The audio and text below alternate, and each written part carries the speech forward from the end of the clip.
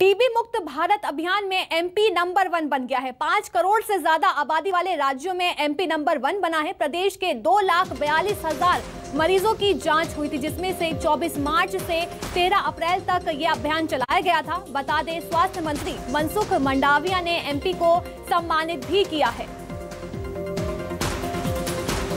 बड़ी और अहम जानकारी, जहाँ टीबी मुक्त भारत अभियान में एमपी नंबर वन बन गया है। पाँच करोड़ से ज़्यादा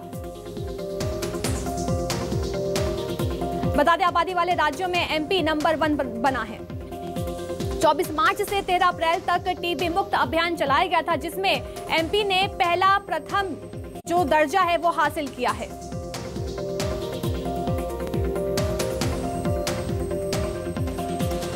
मेरी सहयोगी अमृतांशी जोशी हमारे साथ भोपाल से लाइव जुड़ गई हैं। अमृतांशी, टीबी मुक्त भारत अभियान में एमपी ने नंबर वन जो दर्जा है, वो हासिल किया है। क्या कुछ ज़्यादा जानकारी?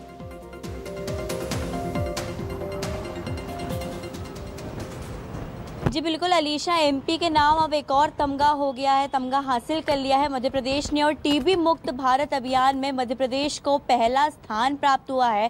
पाँच करोड़ से ज़्यादा आबादी वाले जो प्रदेश हैं, उसमें मध्य प्रदेश को पहला स्थान मिला है। वहीं पाँच करोड़ से कम आबादी वाले प्रदेशों में छत्तीसगढ़ को पहला स्थान मिला है। तो मध्य प्रदेश और छत्तीसगढ़ दोनों के लिए ये काफ़ी गर्व की बात है, क्योंकि मध्य प्रदेश की अगर हम बात करें तो यहाँ पर दो लाख बयालीस हज़ार से भी ज़्यादा लोगों का जो चेकअप है टीबी का चेकअप है, वो करवाया गया था और मध्य प्रदेश को इसमें पहला स्थान हासिल हुआ है क्योंकि मध्य प्रदेश में जो दो लाख बयालीस हज़ार जितने लोग थे जिनका चेकअप किया गया था, वो टीबी मुक्त पाए गए हैं। तो कहीं ना कहीं पाँच करोड़ से ज़्यादा आबादी वाले प्रदेशों में मध्य प्रदेश के इतने लोग टीबी मुक्त पाए गए और इसी को लेकर पहला स्थान मध्य प्रदेश को पूरे देश में मिला है। केंद्रीय स्वास्थ्य मंत्री जो मनसुख मंडाविया हैं, उन्हें मध्य प्रदेश को ई प्रशस्ति पत्र जारी कर सम्मानित किया है। सभी के सामने सभी प्रदेश प्रदेश इसमें शामिल हुए थे और मध्य प्रदेश को उन्होंने ई सर्टिफिकेट जारी कर पहला पहला स्थान जो आया है प्रदेश को वो दिया है।